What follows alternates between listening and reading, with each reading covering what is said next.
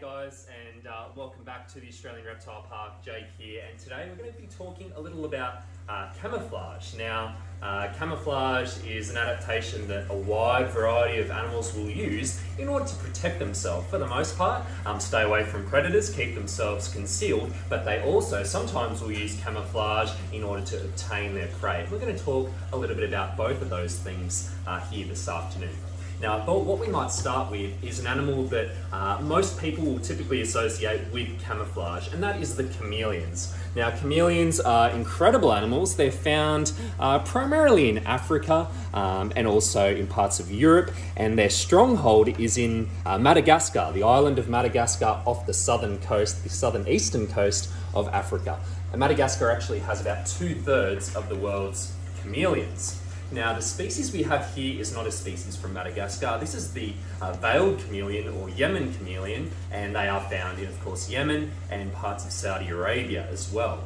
Uh, which most people typically associate as being a very harsh, arid environment, and certainly there are parts of the country um, that are very remote, very arid, and they're largely desert. Um, but the veiled chameleon here, here of course, uh, will spend most of his time on the uh, coastal areas where you have a lot more vegetation and where it stays a little bit cooler. Now, chameleons, of course, are an animal that uh, a lot of people do associate with camouflage, and there is actually a lot of, uh, I guess, myths surrounding the fact that chameleons can uh, change their colour to blend with their environment.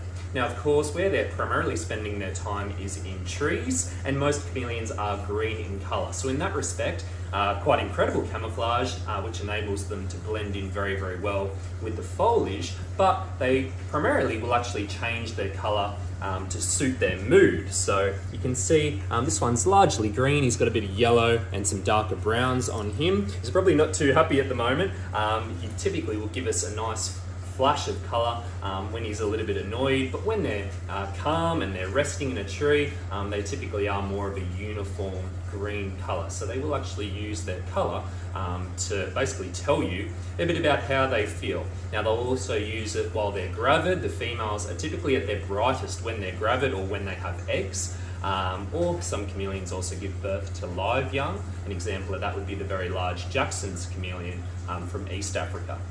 Now they'll also uh, display colours very vibrantly um, when a male sees another male. So they use it as a bit of a territorial dispute thing as well. Now we're going to pop our chameleon down onto these branches here, let him go for a bit of a walk. And you'll notice on the feet of the chameleon, um, they basically have almost like a glove foot, which they use for gripping on to the uh, thin branches that they spend most of their time in. Now we're going to leave him there. We'll probably go for a bit of a walk around. And we're going to come over uh, to this one here. This is one of my favourite species of snake. It is a venomous snake, so I'm going to be a little bit cautious in the way that we open this lid. Um, but in saying that, one of our smaller Australian venomous snakes, and one that is also very easy um, to identify. They're very um, unique as far as our Australian venomous snakes go. Now, right now kind of looks a little bit like uh, a box of leaves and uh, certainly you might be fooled into thinking there is nothing in here. Perhaps the snakes escaped. That is certainly not the case. Death adders, um, which is the species we're going to have a look at, they are masters of camouflage. You can actually see the head of the snake right here. And this is exactly what a death adder would do out in the wild in order to ambush their prey. Unlike most of our Australian venomous snakes, which are large, active hunters and will actively move around, in pursuit of their prey, a death adder relies on their camouflage and uh, it will mostly be curling up in leaf litter like this and waiting for something to come to it. Now, uh, what we're going to do is uh, I'm going to move a few of these leaves here and actually expose the death adder a little bit and I'm also going to expose the tail. Now the tail is going to be very very hard to see but it's actually right here. That little yellow tip there of the tail is what we call a caudal lure. Now they'll use that in order to lure in their prey. So he might be feeding on out in the wild lizards or rodents, uh, perhaps even a bird that would come down and investigate this lure. He's going to move it around a little bit like it's doing there now. It looks quite reminiscent of a grub or a worm. And then basically what that snake will do is wait for that prey animal to get close enough. It will then strike out um, grab that prey animal, and just like that, it's got a little bit of dinner. A very, very uh, genius way of obtaining its food. Now, I'm going to expose the whole snake here now so we can see him. But as I mentioned, this is exactly what they would do out in the wild. They would sit in a beautiful ambush position like this. You can see he's in sort of an S position as well, and that enables them to strike out um, very, very quickly. The Death Adder actually has the fastest strike of uh, any Australian venomous snake. All right. Now, we're going to move on to another animal over here. We've popped our chameleon away. But in here, another animal that's very, very good at camouflaging, and that is uh, geckos. Now here in Australia, we have about 175 species of gecko, and out of all the species that occur in this country, I would say that the leafed-tailed geckos, um, which can be found along the east coast up into North Queensland, they are easily the best at blending in. They will usually sit on the uh, side of a tree and their scalation and their coloration looks very, very similar to the bark that occurs on those trees. It makes it very, very hard um, to see those animals.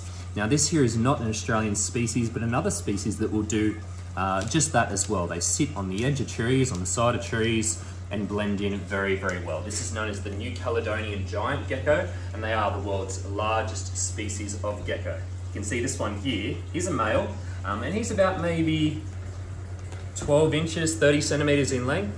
Um, that is very, very large for a gecko. To give you a bit of a comparison, our largest Australian gecko might get to 20 centimeters. So this one here gets very, very large. And as you can see, if you get in nice and close, uh, beautiful eyes, very, very stunning eyes, and that is quite typical of most geckos. And you'll also notice that they do not blink, they never ever blink. And that is because just like a snake, geckos do not have eyelids, so they don't have the ability to blink like we do. Um, so what they do in order to keep the eye clean, they'll actually reach their large tongue outside the mouth, outside the side of the mouth every now and again, and they lick their own eye. Pretty gross, but that's what they do to keep those eyes clean. Now they also have these feet. He's gonna climb me now, give you a perfect example, um, because they have tiny scales on the bottom of each toe, which we call lamellae, and uh, that enables him, as you can see, to go pretty well anywhere he wants. He can go on uh, up in a tree as high as he wants to get, and also he can climb uh, straight onto the top of my head. He instinctually goes for the highest point. Now, uh, I might be able to show you those scales there. You can see he's actually uh, gripped onto my finger right now.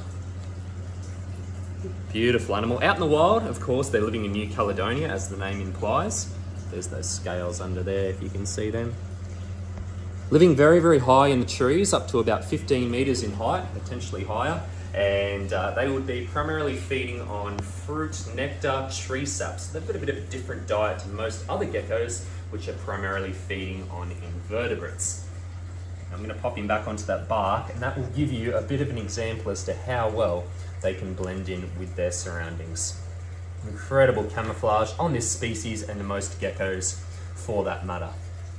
All right, because he might lick his eye. We'll see if he does. He's starting to lick the front of his mouth and uh, that's typically how it starts out and then they work their way around to the eye. I'll keep an eye on him while we answer some questions and if he starts to lick his eye, I'll let you know and we can uh, get in for a nice close look. So just in regards to camouflage, oh. with some of the species, like with the chameleon, they do have a little bit of the ability to be able to change their color. So what, you know, gives the chameleon that ability to be able to do that? Yeah, it's an incredible uh, adaptation that they have. And uh, basically what it comes down to is tiny uh, cells inside the skin of the reptile, which are called chromatophores. It's a bit of a fancy word, but those tiny cells um, actually uh, allow that animal to change their color slightly. And um, yeah, it's a very fascinating adaptation.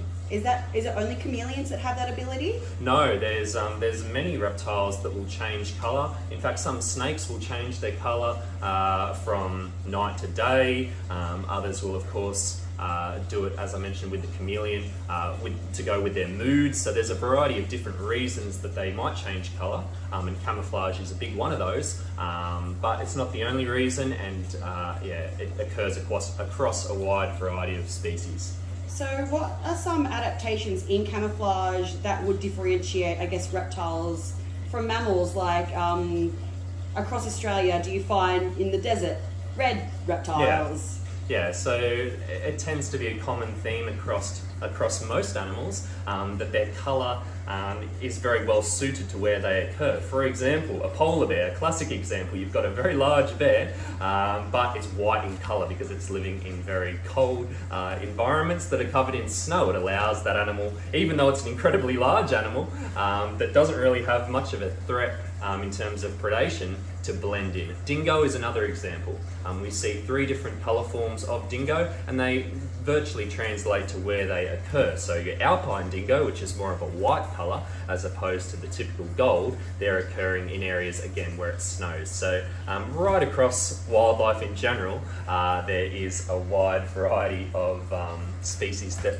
are well suited to the environments that they come from. Uh, back to the chameleon, what's their lifespan like?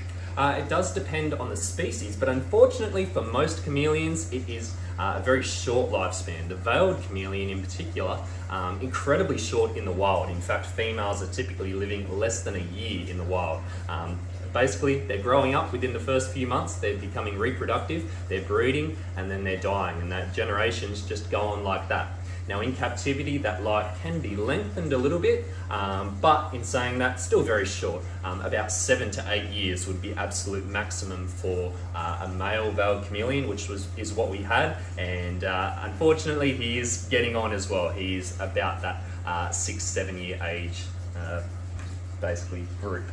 Uh, so back to the chameleons as well. We've Got lots of questions coming in about them. You mentioned before uh, about egg laying. So yep. can you just go through that just one more time? Yeah, absolutely. So um, depending on the species of chameleon you're talking about will depend on whether it is an egg laying species or a, what we call a live bearing species. And uh, for the most part, the chameleons that occur at higher elevations where it's a little bit cooler will be live bearing species. And this includes a lot of species from Kenya, Tanzania, these higher montane species or mountainous species. The veiled chameleon and many chameleons from Madagascar, they're living in warmer environments where eggs can incubate quite easily, and so they are laying eggs. Um, but basically what happens, the females and the males, they mate, and then uh, the females will develop sometimes a lot of eggs inside them, and then they'll basically go to the ground, dig a hole in the ground, and uh, deposit those eggs in order for them to incubate.